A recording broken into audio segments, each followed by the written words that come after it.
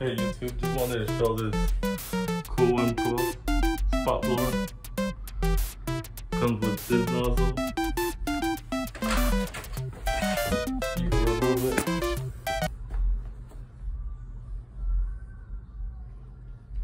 And you can put the other one that it comes with.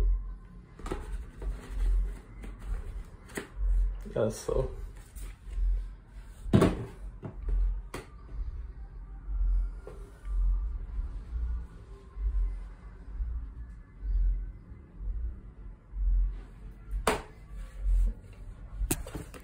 It has the mounting screw.